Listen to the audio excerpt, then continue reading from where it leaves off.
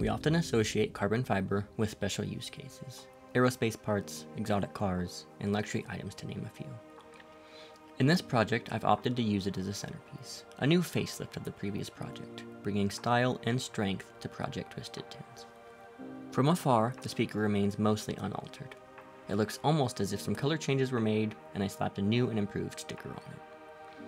As we dive in closer, we will unravel the hidden changes that truly make this new and improved. The facelift begins with 3D printed molds. This close-up shows the issue with that, as these voids won't allow removal vertically. To fix this, I sanded the layer lines down with 220 grit sandpaper, and followed up with a lacquer spray to build up the dips and crevices left behind, creating a smooth surface ready for mold release spray and casting. The molds used in this build were two-part molds. However, due to issues releasing the cone, I'll opt for three-part molds in the future. The mold setup I have worked, however the mold was destroyed upon part retrieval.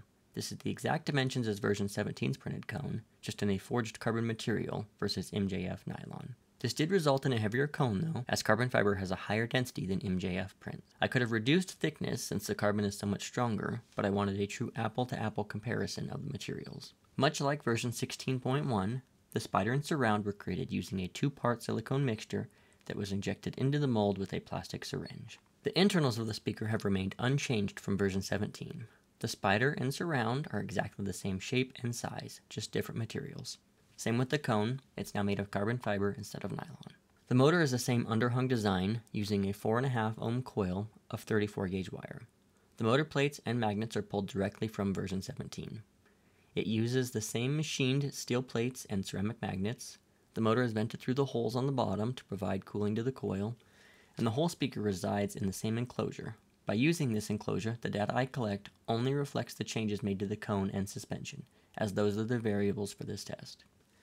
However, we're now going to move on to a build montage and playtest before looking at the speaker data.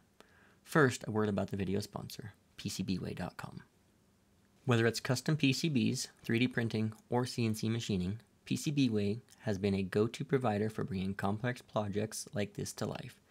PCBWay support was instrumental in making this build possible providing high quality, cost effective prototype and in use parts that you can rely on. Check them out at PCBWay.com to see how they can help you take your project to the next level.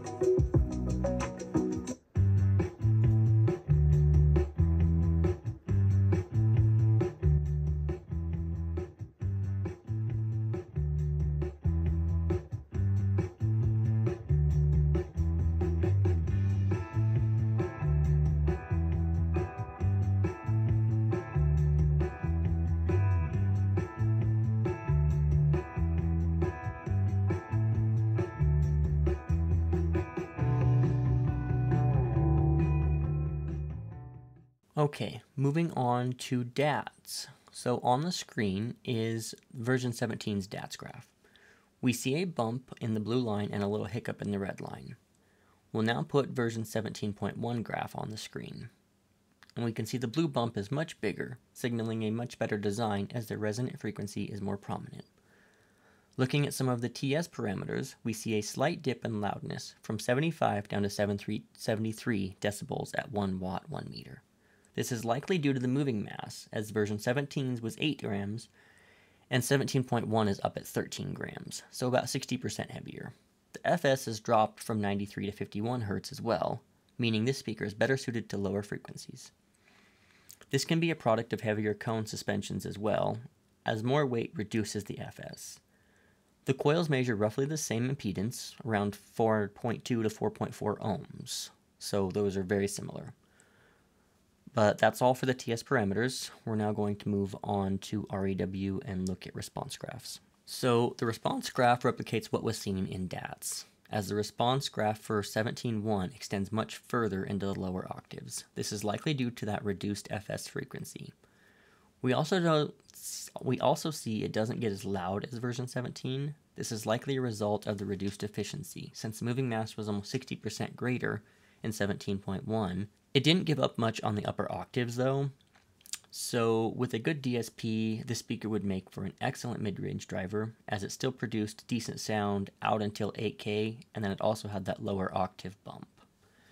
So overall, adding the composite cone and polymer suspension seemed to help the speaker perform without giving up more than it took away. So the added complexity of manufacturing seems worthwhile in this case. And with that, this project and experiment seems to be ready to wrap up. So a huge thanks to those still watching this far. This experiment is giving lots of valuable data for future development of speakers. Also, in the works, I have a tweeter that will hopefully come out in the next month or two. So watch out for that. Unfortunately, the subwoofer took a back seat while I experiment with these tweeters for a minute, so those will be later down the road. Be sure to like and subscribe if you're interested in following this build or any of the upcoming projects. Until next time, thanks.